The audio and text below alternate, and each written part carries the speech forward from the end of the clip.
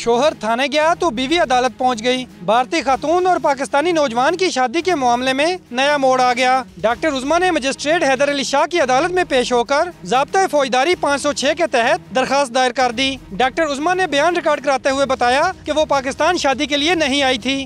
گن point پر زبردستی شادی کرائی گئی۔ اس نے الزام لگایا کہ اس کی امیگریشن دستاویزات چھین لی گئیں۔ ہراساں کیا گیا، زیادتی بھی کی گئی۔ اس نے یہ بھی کہا کہ جب تک وہ حفاظت وطن واپس نہیں چلی جاتی، ہائی کمیشن میں ہی رہے گی۔ گن پوائنٹ پر نکاح کرایا بہت مشکل سے، اس کو لالچ دے کر میں یہاں ہائی کمیشن تک پہنچی ہوں کہ مجھے سیو کیا جائے اور ہائی کمیشن میں میں اپنی مرضی سے رکی ہوں۔ کوئی فورس نہیں ہے مجھ پر۔